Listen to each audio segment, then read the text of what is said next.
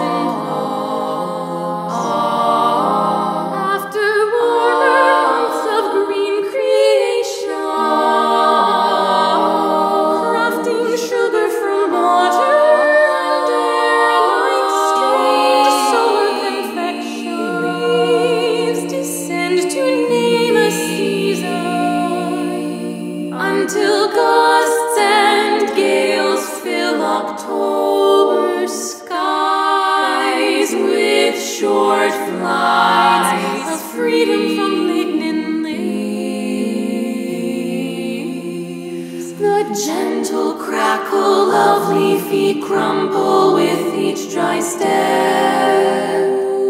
Before rainy gusts